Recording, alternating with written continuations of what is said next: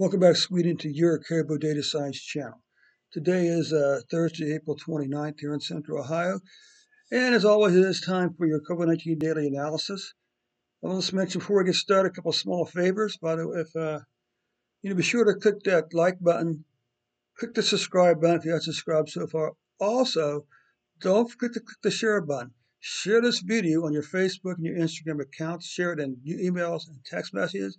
Get the word out about the support to all your friends, and family, and coworkers. Okay, let's get started with the report. I also mentioned on should I come back on Sunday. In addition to the daily report, I'll also be doing a weekly COVID-19 vaccine rollout report for the country of Sweden. Okay.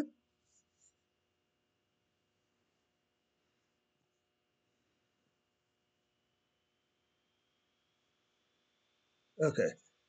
These are the these are these are the Tuesday numbers, the Tuesday spikes. Remember these these spikes include Saturday, Sunday, Monday, and Tuesday's numbers.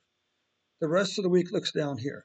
Okay, the rest of the week is below ten thousand, maybe even five, maybe dip down as low as five thousand right here. Okay, and that's what we see over here. Okay, this is a 28-day moving average, and you can see that you know, th these are. Uh, what a 28 day period ending 414, hmm, you were averaging 5,579 cases per day. If we come down here and look at these numbers down here,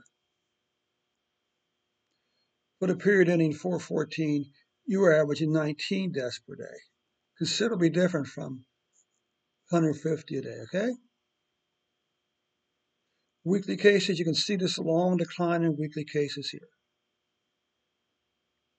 Okay.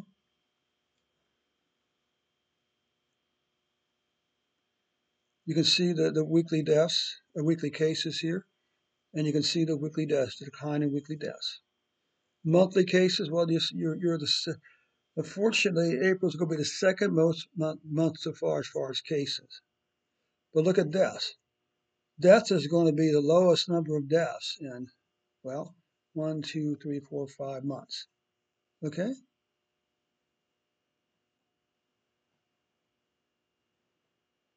Uh-uh. So here we come back over and we're comparing Sweden to other EU countries with this population range. And what, what's happened is, interesting enough, you, you jump from third to second places. You're barely inching out Belgium in terms of total cases so far. But you're still in third place with uh, as far as uh, deaths among these uh, among these, these countries, six countries. This is daily cases by country. This is daily deaths by country. This is the cumulative total cases, cumulative total deaths. Notice a slight flattening here. These are cumulative totals by country and cumulative deaths by country. So this does conclude your report today, Brazil, or Brazil, Sweden. Should have come back tomorrow and we'll do it all over again. Also, don't forget to click that share button. Share this video on your Facebook, your Twitter account. Share it in text and share it in email with your friends and your family, okay? Thanks so much, Sweden. We'll catch you tomorrow with a new report.